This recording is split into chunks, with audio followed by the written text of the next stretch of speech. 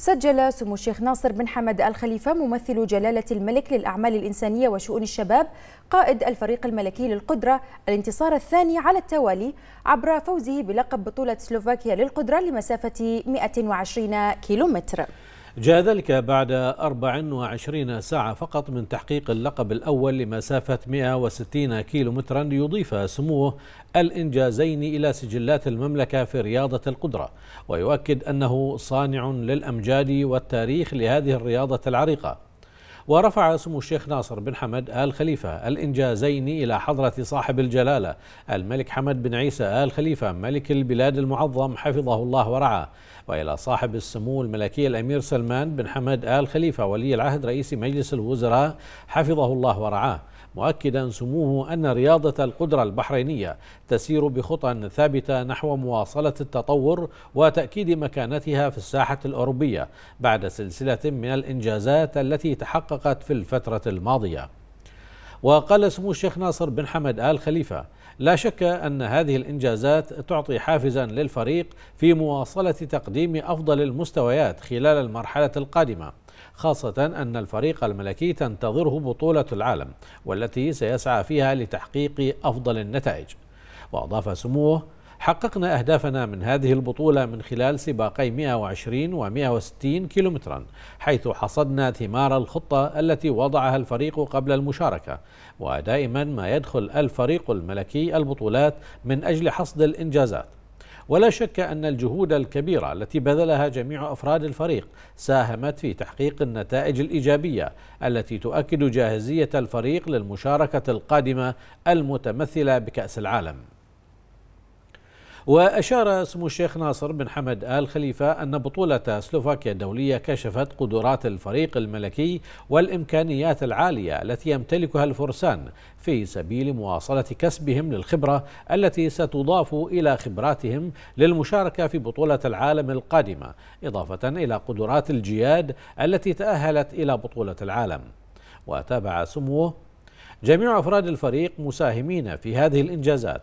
وأقدم لهم الشكر على جهودهم الكبيرة التي بذلوها طوال الفترة الماضية وأثمرت عن تحقيق الأمجاد للقدرة البحرينية.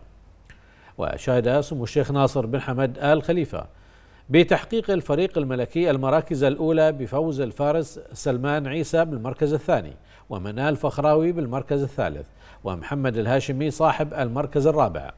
وتمكن سمو الشيخ ناصر بن حمد آل خليفة من تحقيق المركز الأول في سباق 120 كيلو مترا بجدارة واستحقاق على الجواد لولا دي جاليما. هذا وتم تتويج أبطال سباق 120 كيلومتر بعد ختام السباق حيث جرت مراسم التتويج بعد ختام السباق بتنظيم جيد من اللجنة المنظمة للبطولة.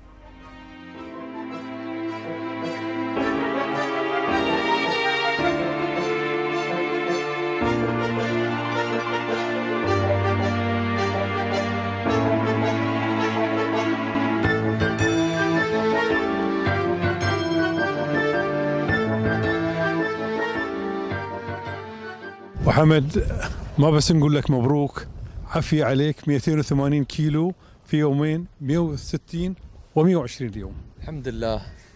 اللهم لك الحمد. أه توفقنا اليوم في ال 120 وأمس الله وفقنا في ال 160 يعني كان يوم كبير بالنسبة لي. أمس إني أفوز وهذه مملكة البحرين بيوم العيد فوز 160 واكتشاف بطل جديد يوثق آه، مكانتي في بطولة العالم إنه على الأقل يعطيني الأمل إنه بيكون عندي حصان طيب جدا لبطولة العالم. واليوم المفاجأة الجديدة اللي يعني ما كانت مفاجأة الحقيقة آه، بالعكس لكنه يعني ما تعرف ظروف السباقات ال ال النسب إنك تخلص ما تخلص لكن هذه الفرس اليوم أبهرت الجميع بأدائها بدقات قلبها آه، بجاهزيتها رغم صغر سنها لذلك هي جاهزة اليوم إني أكون أنا معاها إن شاء الله في بطولة العالم للخيل الصغيرة. نعم. طول العمر 160 أمس و120 اليوم نفس المراحل وقد يكون نفس ذي كل الأمور هذه أعتقد أن وقيادة ناصر بن حمد لوجوده في السباق أعتقد آه، لفت الأنظار في الأمور هذه كلها وإحنا متفائلين إن شاء الله يعني. الحمد لله نسعى دائما للخير ونسعى للمزيد. وما يوقفنا هذا عند حدنا. آه، طويل العمر عطاء فرسان البحرين في السباق خلال يومين. طبعا فريق مختلف أمس فريق مختلف اليوم وهذا يأكد القاعدة القوية مو فقط على مستوى الجياد إنما حتى على مستوى الفرسان. تعليقك على عطائهم اللهم لك الحمد. إحنا اليوم آه، توفقنا بخيل وفرسان. شكرا. شكرا.